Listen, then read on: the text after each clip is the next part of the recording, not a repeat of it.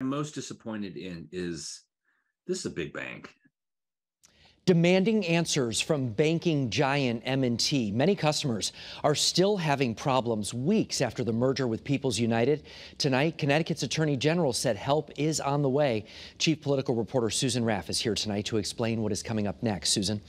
Mark, the Attorney General is not happy. He says M&T is a huge company and they should have been better prepared to handle this merger.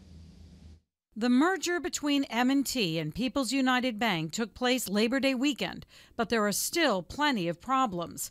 M&T says they are fixing those problems, but Attorney General William Tong isn't satisfied. This is unacceptable, and I know that the bank knows this.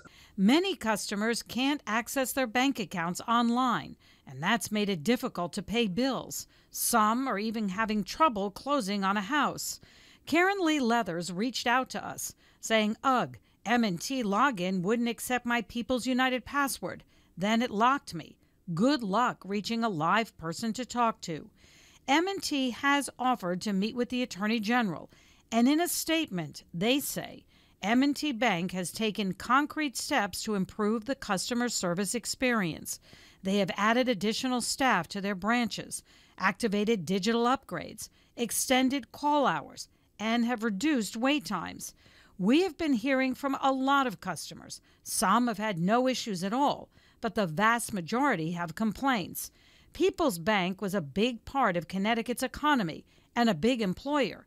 Tong wants M&T to have a point person, at least one or more people, to focus on answering his questions and those from customers. Number two is they've got to cut these wait times. They've got to put as much um, as many resources as they can into into not forcing people to stay on the phone for hours and hours and then risk that that call gets dropped. Meeting between the attorney general and m&t bank. No date however has been set. M&t told us tonight they will not stop working until all customer issues are resolved. Susan raff channel 3 eyewitness news